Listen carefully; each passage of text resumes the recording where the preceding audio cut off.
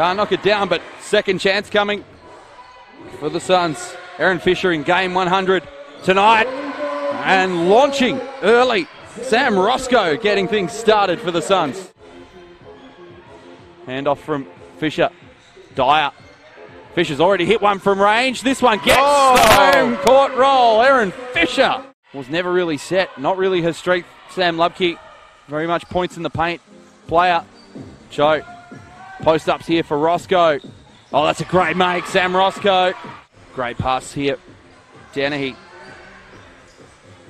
Roscoe inside for Firkins. Oh. Great reception from Firkins, and the make was tough as well. And just a little bit shell shocked at the moment are the Eagles.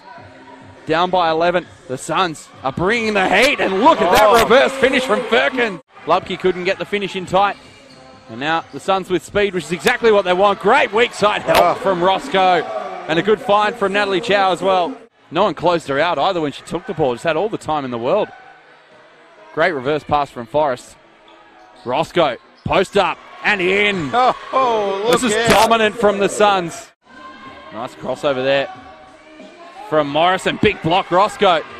Sarah Allen with zeros on the clock. Can't get the shot away. Shot clock violation. Bullets one across Dennehy.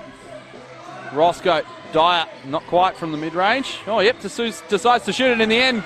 Mac Dyer is bringing the heat as well. 10 points now. As I said, she's trying to keep the Eagles in contact here.